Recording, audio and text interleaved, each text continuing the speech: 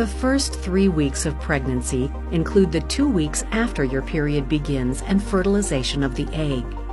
The sperm and egg unite to form a single cell called a zygote. The cell divides to form a cluster of cells that travels down the fallopian tube to the uterus. During week four of pregnancy, the single cell zygote divides many times to form a ball of cells with an inner group and an outer shell known as a blastocyst. The blastocyst reaches the uterus and within a couple of days implants itself in the wall. During week 5 of pregnancy, or three weeks after conception, the dividing cells of the embryo form a disc which folds into three layers. These layers are the beginnings of the organization of cells that will develop into all of the organs and tissues of the human body. A groove forms down the center of the disc, which now has a top and bottom, front and back, and left and right side. This neural groove deepens and then forms a tube, which will develop into the brain and spinal cord. An early circulatory system develops from tubes on the left and right side of the groove. The tubes merge, kink, and fuse together to form the chambers of the heart, which will begin to beat and pump blood. The central nervous system is also developing, and the gastrointestinal tract begins to form. Simultaneously, the surrounding environment is also changing to nourish, protect, and support this development. During week six of pregnancy, or four weeks after conception, the neural groove down the center of the embryo closes like a zipper, forming a tube that becomes the spinal cord and brain. The closing is faster toward the head end as the different parts of the brain develop. The ends of the groove then close. The heart now beats and pumps blood. Other organs and facial features are becoming more defined. Tiny buds appear that will become arms and legs. The embryo starts to take on the shape of a C.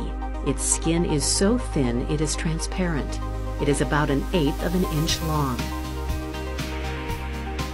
During week seven of pregnancy, or five weeks after conception, the brain is developing rapidly with the five main sections established. The face is also quickly developing and eye lenses, earbuds, and nostrils become visible. The arms and legs continue to grow with paddle-like shapes where the hands and feet will be. The main branches of the lungs are developing the embryo is a quarter of an inch long. During week 8 of pregnancy, or six weeks after conception, the embryo's facial features are becoming more defined as the brain grows to support the senses, such as vision and hearing. The cerebral cortex in the brain has developed, and all the cranial nerves which emerge from the brain are in place. The arms and legs are growing longer, and joint development is underway. Blood is forming in the liver. The intestines are developing and fill the base of the umbilical cord. The embryo's C-shaped trunk is beginning to straighten. It is about half an inch long.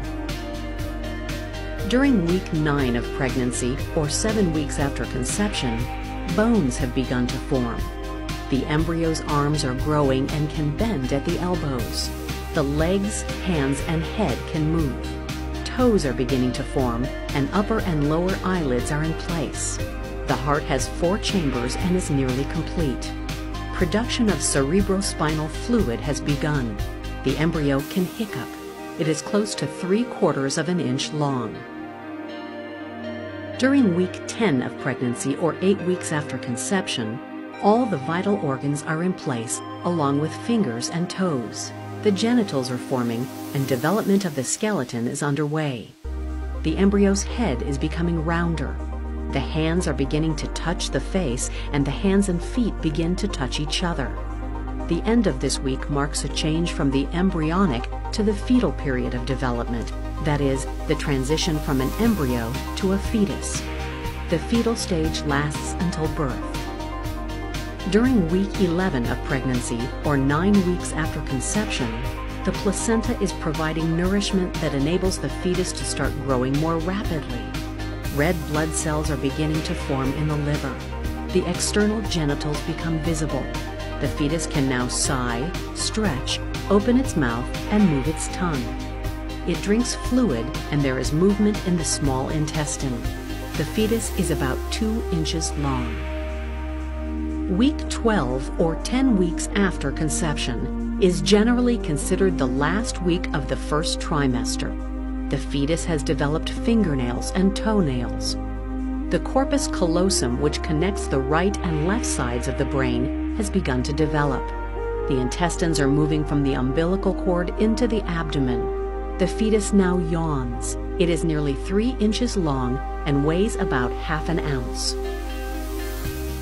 At 13 to 18 weeks, 11 to 16 weeks after conception, all the baby's nerves, organs, and muscles are functioning. The immune system, sex organs, and respiration are developing. The skin is forming distinct layers and the baby is developing fat stores. Its ears stick out of its head.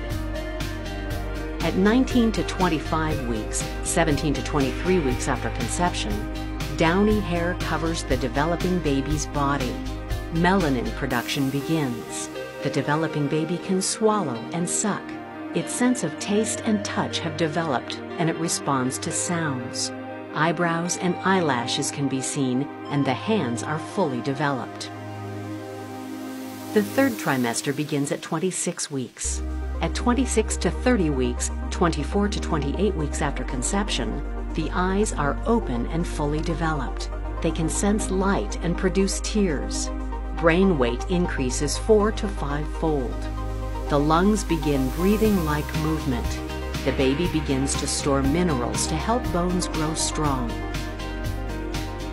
At 31 to 36 weeks, 29 to 34 weeks after conception, the baby's skin is red and crinkled. Rapid weight gain continues and fat deposits round out the baby.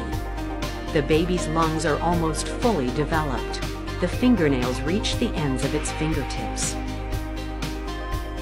At 37 to 40 weeks, 35 to 38 weeks after conception, the baby's lungs are mature and it can grasp something. The baby has enough fat to maintain a normal, consistent body temperature. The baby is now considered full term and normal gestation ends.